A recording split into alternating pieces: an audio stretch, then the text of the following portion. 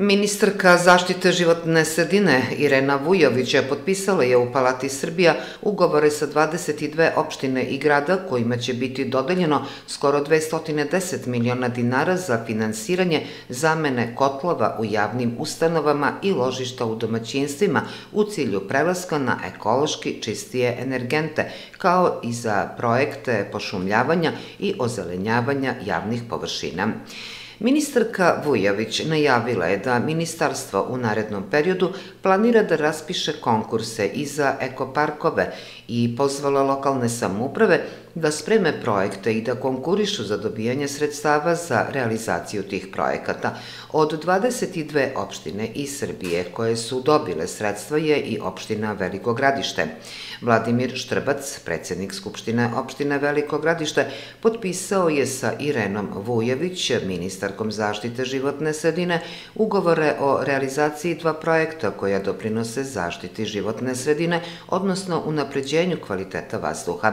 U unapređenje grejanja osnovne škole, vrtića i sportske hale u Velikom gradištu kroz projekat rekonstrukcija kotlarnice osnovne škole, predškolske ustanove i sportske hale biće uloženo 20 miliona dinara, od čega je ministarstvo obezbedilo 15 miliona, a opština Veliko gradište 5 miliona dinara.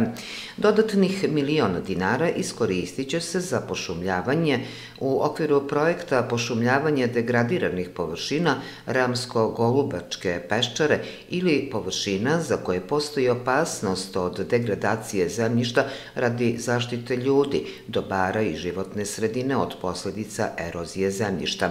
Ministarstvo je za potrebe pošumljavanja obezbedilo 700.000, a opština Veliko gradište 300.000 dinara.